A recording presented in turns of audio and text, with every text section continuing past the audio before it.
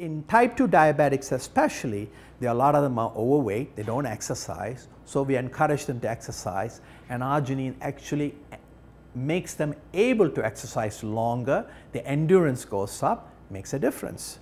It also, because improves circulation to all the end organs, to the kidneys, to the pancreas, to the heart, to the muscle, we are able to use blood sugar more efficiently and that too will bring diabetes blood sugar down because blood circulation improves and with improved circulation glucose is able to taken up much more and therefore the insulin resistant goes down.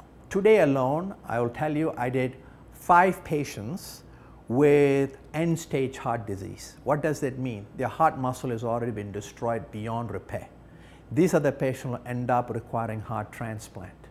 So we do, we still manage them we put them on medication, we put defibrillators in them, we try to open up the arteries, but this is the end result. We want to get to the patients in their 30s, in their 40s, in their 20s before this comes about. That is our goal. If I were to prevent, you know, we have 22,000 patients in our clinic. A lot of them come to us late.